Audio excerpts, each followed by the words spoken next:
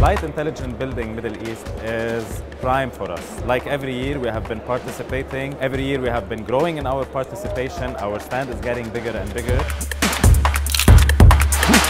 very good. It's a very good response from the market. The exhibitors are coming from different part of the world and the new new companies are coming, new new technologies and we also got an opportunity to introduce our new technology to the customers, our existing customers and uh, uh, new customers. It's, it's good for all. So